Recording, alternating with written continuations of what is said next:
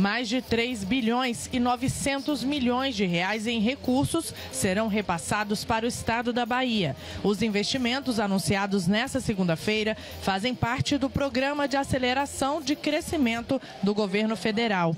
Agora nós vamos viajar ao Brasil colhendo as coisas que nós fizemos nesse país, na área da educação, na área da saúde, na área do emprego, na área do, do programa de, de, transição energética, na área de habitação, na área da igualdade racial, na área da cultura. Entre os recursos anunciados aqui em Salvador, 1 bilhão e 500 milhões de reais serão destinados a ações do programa Luz para Todos.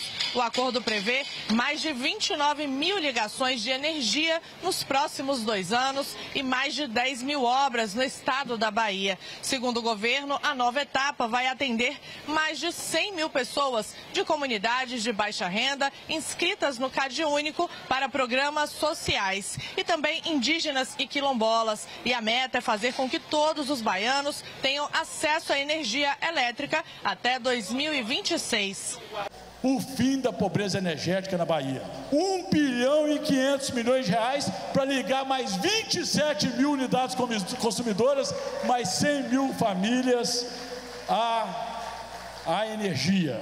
Durante o evento em Salvador, também foi assinada uma autorização para empreendimentos faixa 1 do Minha Casa Minha Vida, voltados à família com renda mensal de até R$ 2.640.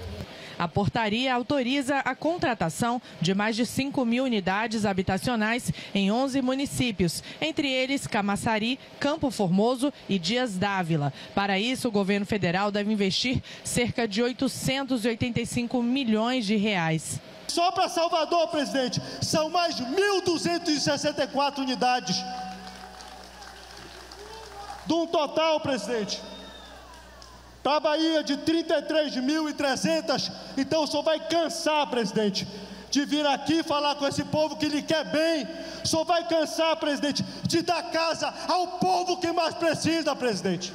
No setor da educação, o governo federal vai investir por meio do novo PAC mais 478 milhões para universidades federais e cerca de 240 milhões para institutos federais da Bahia. Os recursos serão investidos em obras como a construção de novos hospitais universitários. Estudar numa escola que te abre portas e te dá a oportunidade de muitas vezes executar projetos de pesquisa e extensão é o que mostra para esses adolescentes que sim, nós podemos estar aqui e criar 100 novos campos nos interiores do país é fundamental para que mais uma vez possamos chegar ao fim dessas desigualdades sociais. Além disso, segundo o ministro Camilo Santana, a Bahia vai receber mais de um bilhão do novo PAC para a educação básica. A ideia é custear creches, escolas de tempo integral e ônibus escolares. Para a Bahia, são 244 ônibus financiados pelo governo federal para os municípios baianos. Esses ônibus já estão chegando, prefeitos.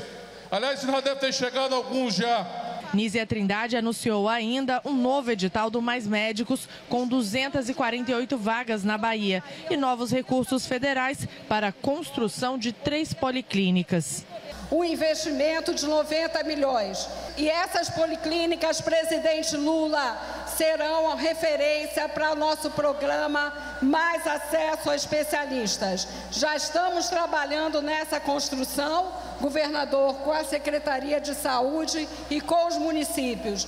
Vamos juntos, vamos em frente, união e reconstrução.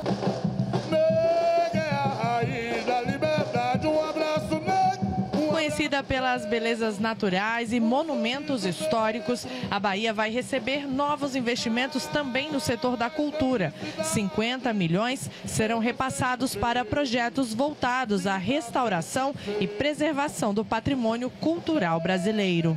Estamos contemplando diversas cidades baianas, Salvador, é claro, além também das cidades Cachoeira, Itaparica, Maragogipe, Santo Amaro e tantas outras, para citar só essas. E que vamos realizar uma série de obras de restauração e requalificação.